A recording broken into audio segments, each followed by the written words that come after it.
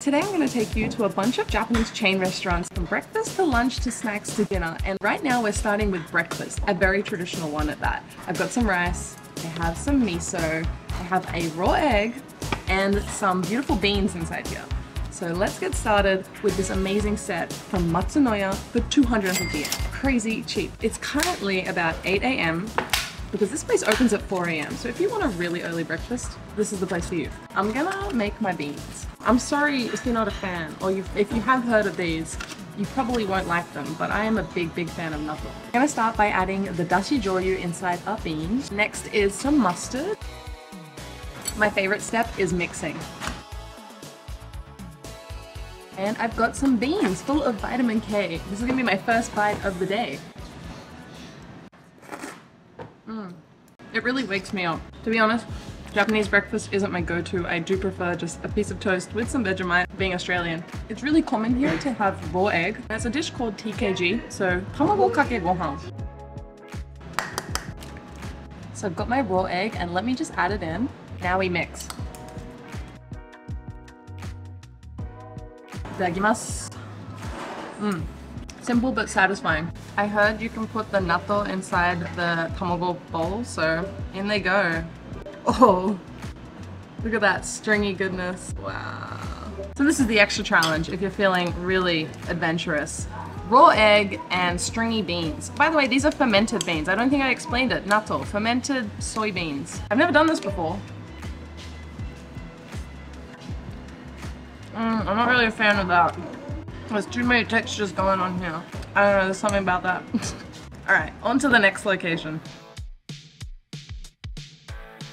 This is Marugame Udon and I live and die by this chain because it has saved me so many times. It's super cheap and affordable, delicious udon. But the great thing about Marugame is they have a wide variety of options on the menu. They have hot and cold udon, and you can also get a bunch of sides. So I've gone for a tempura satsumaimo, so sweet potato, to go with my shoyu oroshi udon.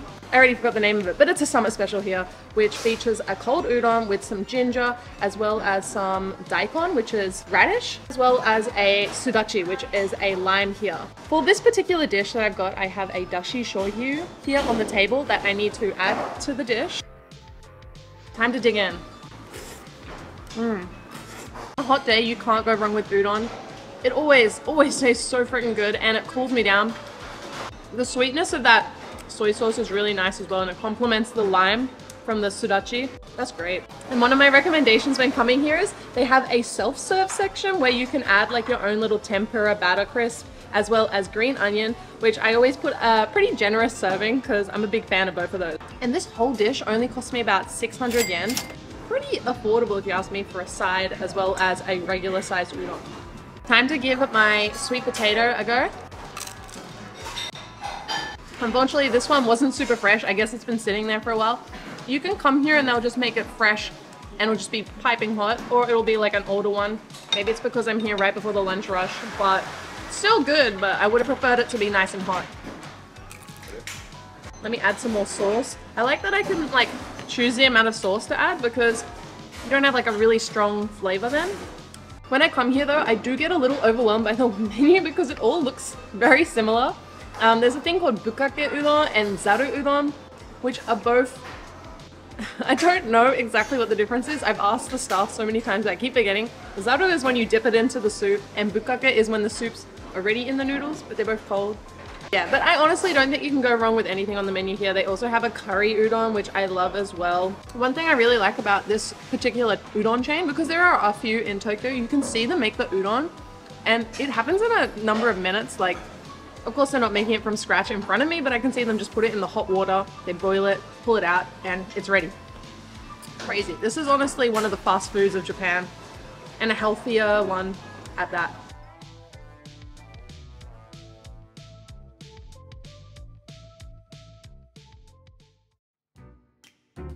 For an afternoon snack, I've come to Hoshino Kohi, which is a popular coffee chain here in Japan, and it's located literally everywhere. And it's my first time visiting the Shibuya one because I have a view of the crossing literally right in front of me. I love to come here and order something sweet, so I'm thinking to get their famous pancakes because they're really fluffy, as well as a hot cafe latte. just beware if you do come here, it takes about 20 minutes for them to make the pancakes. Look at it! This pancake looks incredible. I love the pancakes here. They're so fluffy and soft and delicious. And I got a whole like, tub of maple syrup. And then I also have my cafe latte. Time to take a sip. And I want to let you guys know that whenever I come here, they do it super hot. So if you like piping hot things, this is the place for you. That's so good. I need some caffeine right now. I'm a little tired. Yeah, they do do decaffeinated as well. So it's good if you want to come at nighttime because cafes are actually a popular thing here in Japan at night called like Yoru Cafe. Think the first time I came here was like at 6 or 7 p.m. But enough of that. I know you all want to see this beautiful pancake. You can get a deal, which is what I got, where you get the double pancakes with a drink for about 1,280 yen. So that's not bad. I think that's pretty reasonable. I need to put my maple syrup on. First bite. Mmm. I love the flavor of the pancakes here. I find that the actual pancakes themselves aren't overwhelmingly sweet, but they add a bit of like sweetness with of course the maple syrup. Look at all the fluffiness as well. My tip for these is that I like to remove, because there's two layers, and then add some of the like butter to the bottom one. Otherwise you won't have butter in that bottom one. Mm. I'm so happy. I love these so much. This chain also sells like sandwiches as well as like a few main dishes and like some melon soda drinks. So it's not just about sweets. But oh god, there's one more sweet that I love so much here. It's a pudding. I'm kind of on the fence. Should I order it? I don't know. Japanese pudding is like on another level.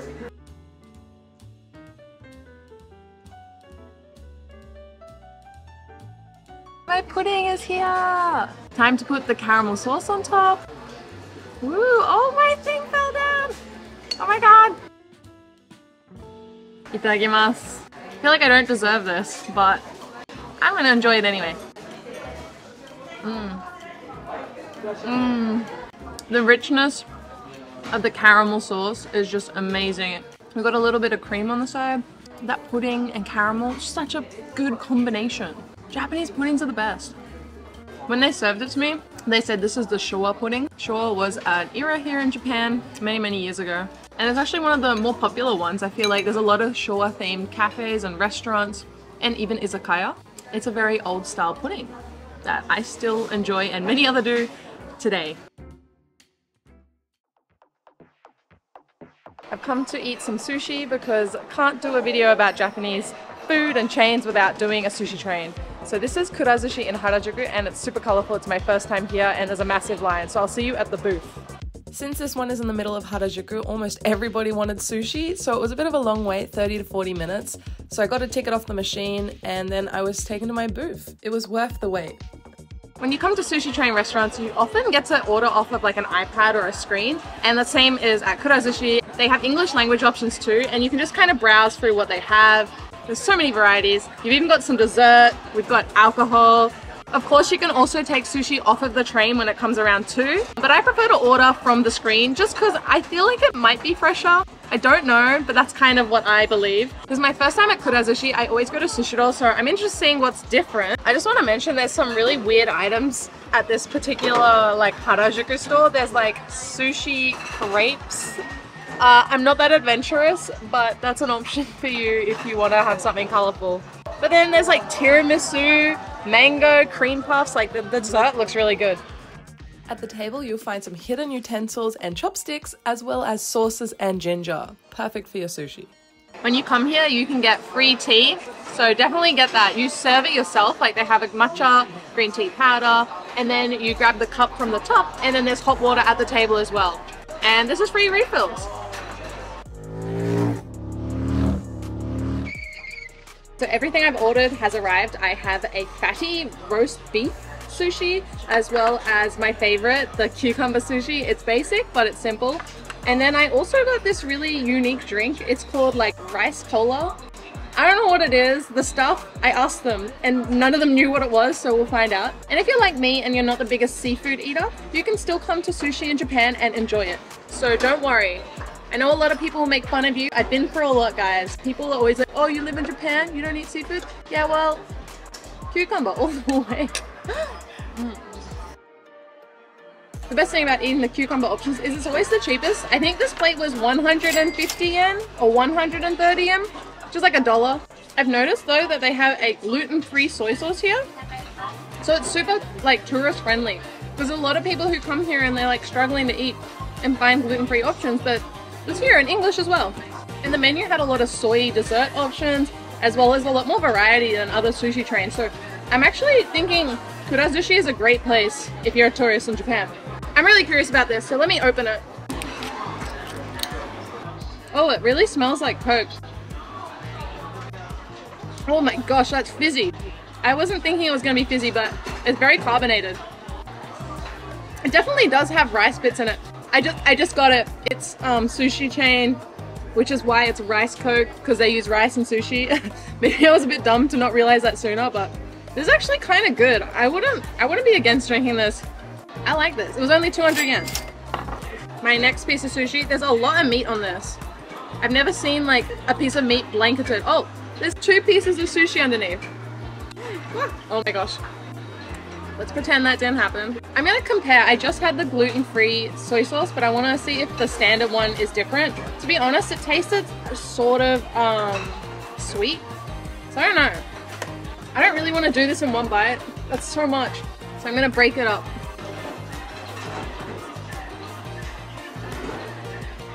That is good. Mmm.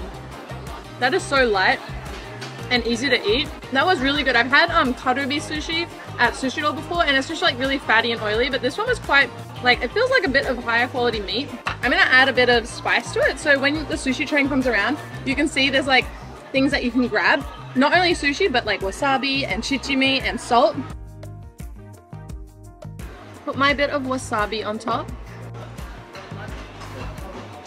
I personally feel you can come to Sushi Train at any time of the day like as a quick snack or like for dinner but this one in Harajuku was so busy I don't feel like you can just pop in and pop out. So be aware of that. The sushi is very popular and it's very cheap and affordable. And this one is so colorful. Like the colors here is insane. It's very cool. I think it's pretty new as well.